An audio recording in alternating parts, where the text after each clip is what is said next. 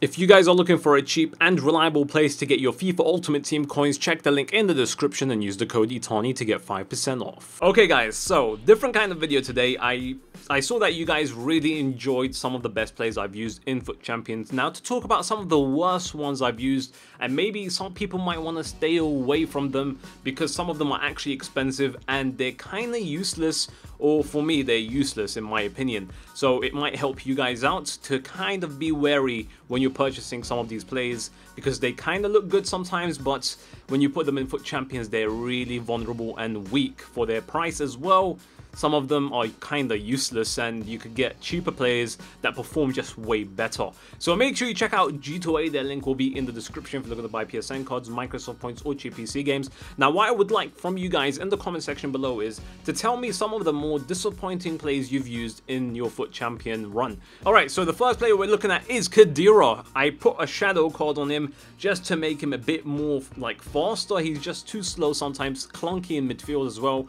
Even though his defensive stats are very nice and he does um, help me out sometimes on counter-attacks because he's there midfield and kind of just shoves off any player he wants. But catching up to players can be a problem and another thing is the biggest problem for Khedira is he just cannot pass the ball properly. I mean, if you have really good agile midfielders and really good dribblers, and they're just get, getting around the other uh, the opponent's midfield, Khedira is just so bad. He gets dispossessed really easily. Um, you could call him a holding midfielder, but because of how much he gets dispossessed, you can't really call him that anymore. And this is a problem with a couple of other midfielders that kind of uh, have similar stats and similar heights with Khedira. So if you are a player that likes to play possession, for instance, and you pass it to your midfielder, the midfielder dribbles around the player, passes it back to Khedira, Khedira loses the ball because his first touch is shit, and also because it takes so long for him to control the ball and then pass it, you'll be dispossessed by then. So um, Khedira, another problem for me was his stamina. By the second half, he is completely useless, making so many mistakes, and by that time, time, you have to sub him off. Alright, so Fellaini is another disappointing player I have used in the weekend league because same sort of thing with Khedira. He just cannot control the ball and if you like to pass and play really quickly, you will not be able to do that with Fellaini. By the time he controls the ball, gets dispossessed, and even this is when he's on full stamina. Some people might say, oh, I've tried Fellaini and he was really good, but did you try him in the weekend league? It doesn't matter where you tried him divisions, they're nowhere near as hard as the Weekend League. The Weekend League, you're playing against some of the best players that ever played in FIFA. So, um, these sort of players, I don't see them suit in the Weekend League. I've tried Khedira. Look at this. I've tried Khedira for 224 matches, and I just know he's not good enough in the Weekend League. Honestly, like you would need a bigger, not a bigger player, but a more agile sort of midfielder that is strong enough. Kanté would suit that position, but he is just too uh, small. So you would need to kind of find someone that is that has good height. Like for me, for instance, I actually prefer Parolo to Khedira, even though Parolo isn't as strong, but he's agile, he's quite fast, and he has really nice defensive stats as well. So just Khedira is a waste. And like I said, Fellaini, it, he shares the same sort of stats with Khedira and there you go. Alright, so this may come to you guys as a surprise, but Sergio Aguero just isn't good enough. Honestly, like, you're paying so much coins for a striker that isn't the best in the weekend league. I mean, I've, I've tried Sturridge and he's better than Aguero in this game. But the problem is I have Dybala on one side and I used Aguero for this uh, FUT Champions run um, on the other side. So Aguero, Dybala and Del Piero as a centre attacking mids. Some of the best players up front, right? Dybala doing everything, and I felt like I was using one striker. I use Aguero more to assist rather than anything. Now, Aguero does have decent stats. Let me see. Uh, we did definitely play 40 games with him. So 40 games, every single one in FUT Champions. He's only scored 18 goals and 20 assists. Now, some people say that's good enough, but it's not for how much you're paying for him 356k that is not good enough for what you're getting back. So Aguero, very disappointing player. I thought he would be amazing, but turns out for an 89 rated player, he was just okay. And you can't deal with okay players in the weekend league. You need better players. So I was really disappointed with Aguero. Um, let me know if you kind of share the same feeling. I had Dybala, and he was he kind of seemed like he was doing all the work. And sometimes I would see Aguero open and kind of ignore using him because um, he doesn't make runs. Like, Dybala was making all the runs, and I would try and set him up with Aguero, but Aguero just kind of stood still, and I don't get that because he has high and medium work rates. So, just a disappointing player overall. So, Bonaventura, I did try him out for 40 games. Well, not actually 40. Let me see how much I actually tried him out for. 16 games. So 16 games I did try him out for, and he scored one goal and four assists as a midfielder, right central midfielder. So the problem with him is I used him and uh, he costs quite a bit by the way. He has he's like 68k, which is a lot for a midfielder that um, I don't know. He like the in the Serie A there's so many midfielders you could choose from that are a lot cheaper, so there's a lot of competition to see who's the best midfielder. The problem with him is he is not agile enough in midfield. I want to turn with him to pass it quickly. He's not fast enough to turn. I want to try and pass it off quickly. He's not fast enough to pass. I don't know what was wrong with him. He seemed very clunky in midfield. He's very inconsistent and with the positions he gets in, it was bad. I don't know. What was his work rates?